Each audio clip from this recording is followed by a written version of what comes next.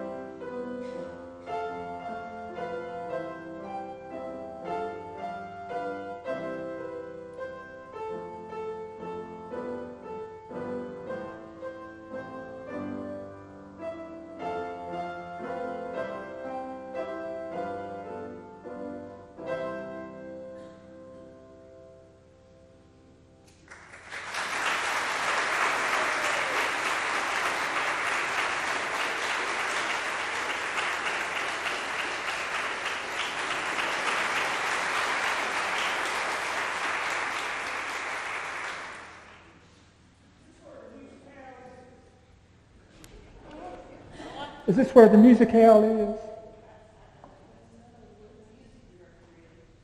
Wait, wait a minute. Let me, let me call Margaret. Margaret, tie up the mules, honey. They are, this is the place. Just hook up the wagon and tie up the mules. Okay.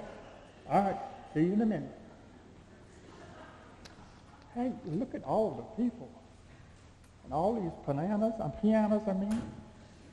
Ah, hi, I'm, my name is Perkins. Oh, sorry, I got my outside hat on. Excuse me. I'm from Pea Ridge, Arkansas. Anybody here from Pea Ridge? Nobody here from Pea Ridge? Well, I'm, Margaret's outside tying up the mules. We came over here in a wagon. But there's only two of us Pickens boys left in our little section of the, of the near Pea Ridge. All them rich Pickens that live in the town. We live up in the hollow. My brother's name is Easy Pickens. My name is Slim Pickens. He's the Easy Pickens. But he's, he can't be here because he's in prison. He tried to be like them NASCAR boys. When they first started, they ran moonshine. And that's what he did. He got caught. So he's in prison.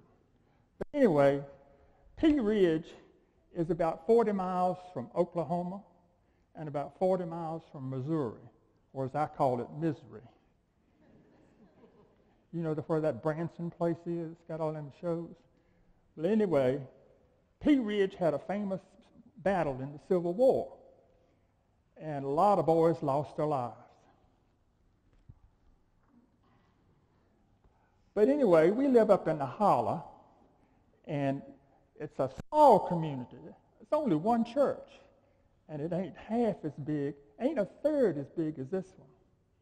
We can't get 30 people in there on a good day. And that's full. Anyway, we had so few people going to church, we had, first Sunday was for the Methodists. Y'all Methodists, right? I don't see any casseroles. Y'all, y'all, that's, that's famous. Methodists are famous for casseroles. My mama used to carry a casserole to church every Sunday. Anyway, first Sunday was the Methodist, and the second Sunday was the Baptist, and I can't remember who all the other people went, but the fifth Sunday was for the atheists. but anyway, if we didn't have enough people in the church to support, you know, a, a full-time minister, so we'd have a circuit rider. But the Baptist church, they wanted the person there all the time. So what they did was, Pastor Bob and his wife Grace had a side business. It wasn't bootlegging like my brother but it was a side business. They ran the barber shop. So one day, an old buddy of mine went down there. He's got tired of shaving himself, so he went down there to get a shave. And he got in there, and Bob, Pastor Bob, wasn't, wasn't anywhere around. So Grace was there, and she said, I can give you a shave. And she, he said, well, okay. So she shaved him. And then he said, well, how much do I owe you? She said, $20 he hit the ceiling. $20. She said, I guarantee it's a close shave. You won't, you won't have to shave again for a long time. So he said, I don't believe that. So he gave her $20. So anyway, he goes on home. Next day, his face still smooth, clean. A week goes by, still smooth and clean. Next week goes by, still smooth. So he goes back down there to the barber shop and Pastor Bob is in there now. He said, Grace shaved me the other day, or a couple weeks ago, and it's still smooth. He says, you've been shaved by grace.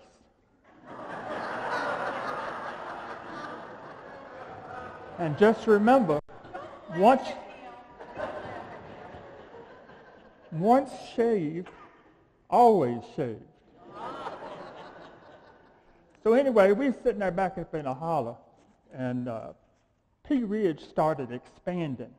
You know how, the, how towns just take over other things and move out. So we were sitting there, and this guy comes by, and he said, uh, Slim, have you lived up here all your life? And I said, not yet. And he made us an offer on our house. So we, we decided we'd hitch up the wagon to the mules and just head off. We wanted to go to Memphis first, okay, because we'd all heard about Elvis. We wanted to see where Elvis lived. So we got there and we found the place, and the lady said Elvis had died. So that was, that was so sad. So then we just kept on east, and saw somewhere on a sign or poster in a store somewhere about this musicale that y'all were having today. So we decided we'd come on up here and do that. Now, there's a song that I play, and I doubt if any of you remember what it is, but it was in a movie. It was in a movie. And I didn't go to see the movie because it talked about moving all these uh, ants and spiders and everything around, all these insects, moving them around, transporting them somewhere. You know what the movie was called was Deliver Ants. but I got, I know one of the, one of the little songs, let's see if y'all remember it. It, it was in the movie. Let's see here. You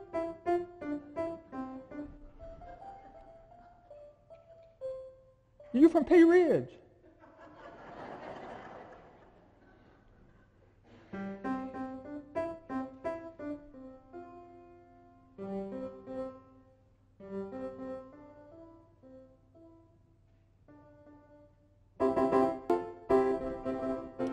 She's bound to be from Pea Ridge. bound to be. I'm going to tell Margaret, I don't know what's holding her up, but y'all have fun listening to the next, these Arkansas travelers here. I'm, I'm really an Arkansas traveler. See y'all.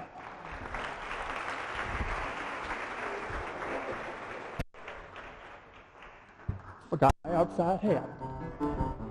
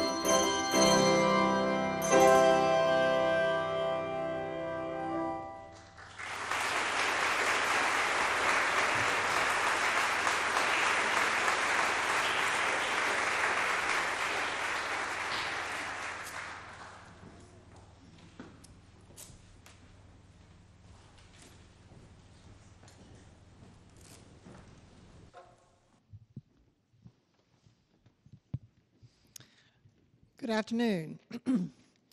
I would like to take just a few minutes to introduce some of the keyboard players today. Uh, so wherever you are, when I call you, just wave to everybody. The first one is Mary Murphy.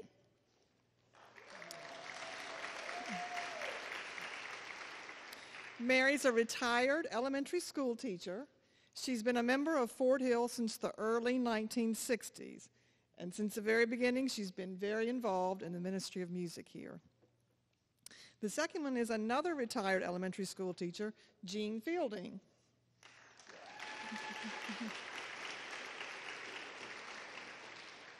Jean taught school for 32 years.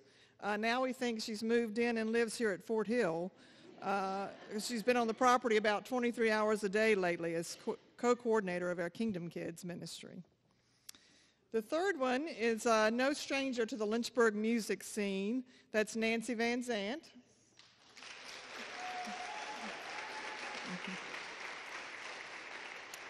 You may have heard uh, Nancy play bells, or piano, or organ, or trumpet, or accordion, or kazoo, or who knows what else.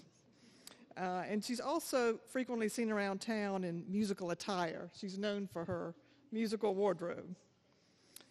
Uh, and then the next one we have is Madison Coghill. Where is Madison?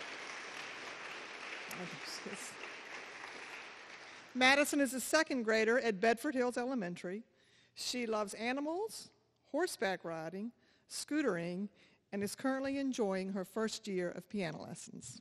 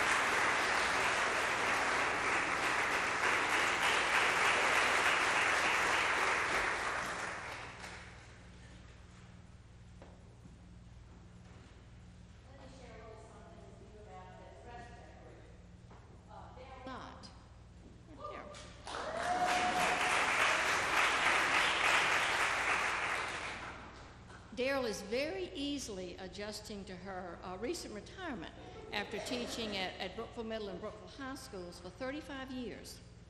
And she has enjoyed sharing her gifts through church music throughout all these years. Uh, Dee Booth. Uh, Dee's retired after 34 years as a private music teacher. She has participated in, in music ministry in a number of our local churches. And she is also, she's the visionary and the co-coordinator of our Kingdom Kids program. Um, Carol D. Robertson.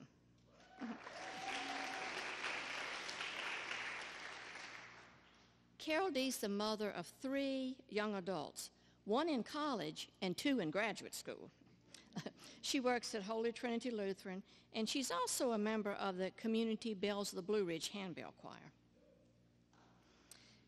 And last but not least, where's Janet? Uh, yeah, that's right.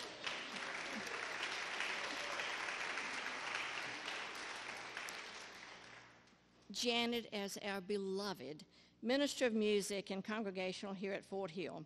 She's a director of uh, the Bells of the Blue Ridge Handbell Ensemble, and she has lovingly been given the nickname of the Claw.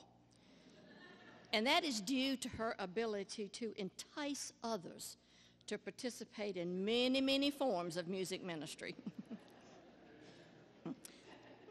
Let me just say a, a, few words about this next piece. It's a wonderful arrangement of various spirituals written for four pianos.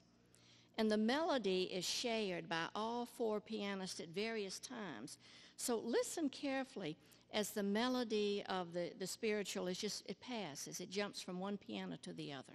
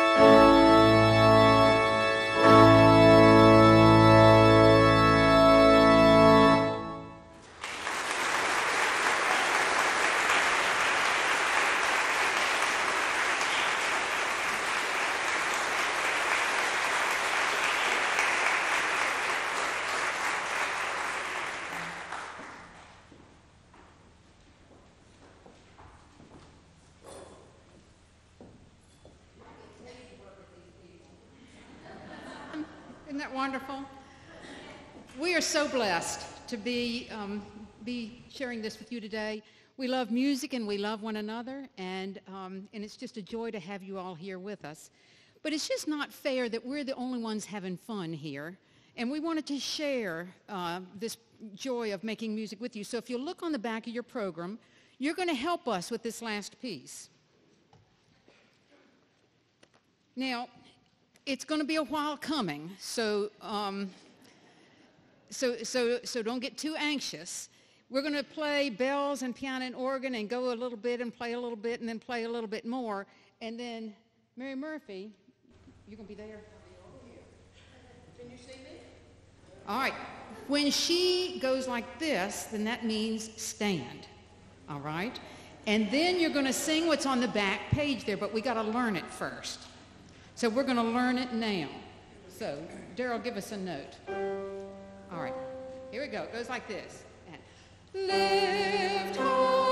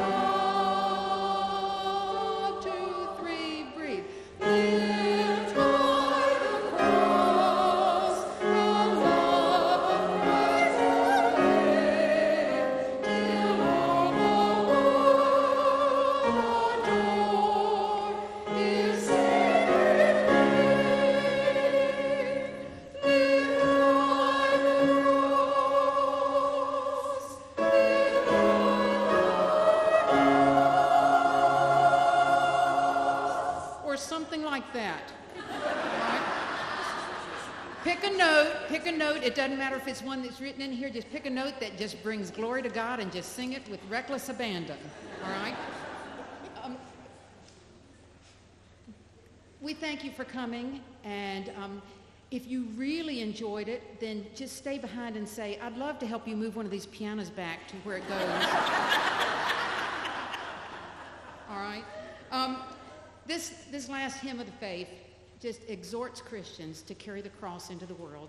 Surely the presence of the Lord has been in this place today, and we are to carry the cross out and, and serve in a Christ-like manner. So we thank you again for coming, and we invite you to listen to this closing piece, Lift High the Cross.